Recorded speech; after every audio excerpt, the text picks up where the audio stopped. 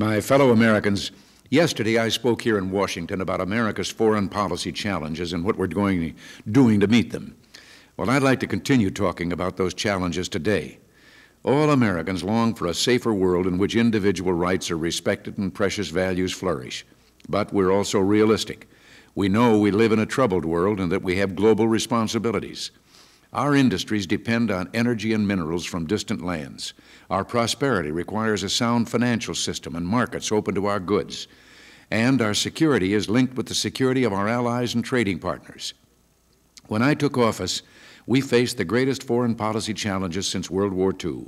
Challenge number one was reducing the risk of nuclear war.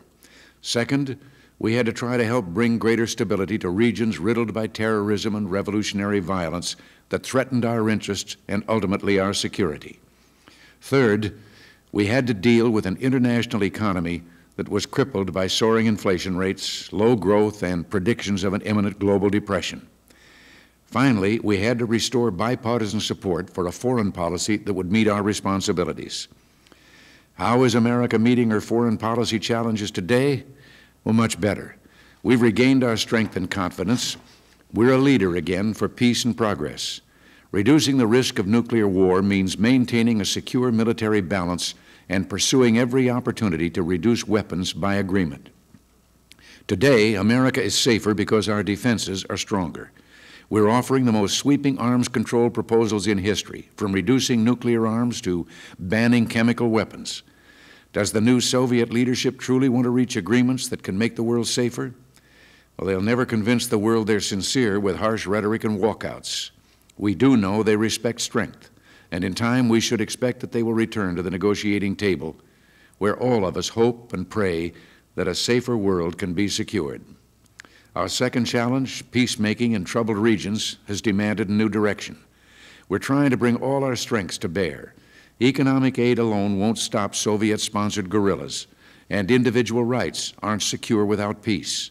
We need all the tools we have, diplomatic mediation, economic help, security assistance, and promotion of democratic reforms to address complex regional problems.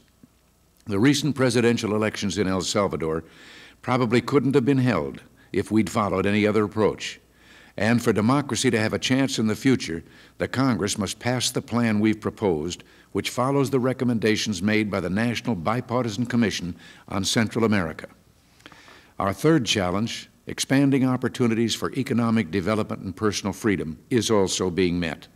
America's powerful expansion is pulling the international economy forward. As we buy more from our friends, they buy more from us. Jobs, income, and opportunities increase for all. We've developed creative initiatives to spark private enterprise in the Caribbean. We're expanding our economic relationships with the growing nations of the Pacific Basin, and we're shoring up the international financial system. You hear about the economic upturn, you don't hear enough about the democratic upturn. Ten years ago, fewer than half the people of Latin America and the Caribbean lived in democracies or countries embarked on a democratic transition. Today, 90% of the people do. The tide of the future is a freedom tide. Finally, our fourth challenge, restoring bipartisan consensus to our foreign policy, is urgently needed. The Congress has given itself many new powers in foreign policy. Over 100 separate restrictions on executive authority were enacted in the 1970s. But the Congress hasn't yet accepted an equal sense of responsibility. We've had some successes in bipartisanship, the Scowcroft Commission helped create a consensus on arms control policy, and the bipartisan Kissinger Commission gave us a comprehensive set of recommendations on Central America. But we must go beyond recommendations to action. I applaud the Senate's approval this week of emergency security assistance to El Salvador, and I hope the House will give its approval. When we develop a problem-solving plan to help build a safer world and a better world, there must be no Republicans or Democrats just Americans pulling together. Until next week, thanks for listening and God bless you.